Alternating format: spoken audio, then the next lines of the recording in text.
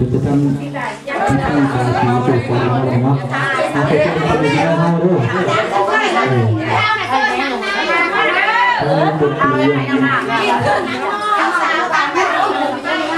าจารย์เราก็ท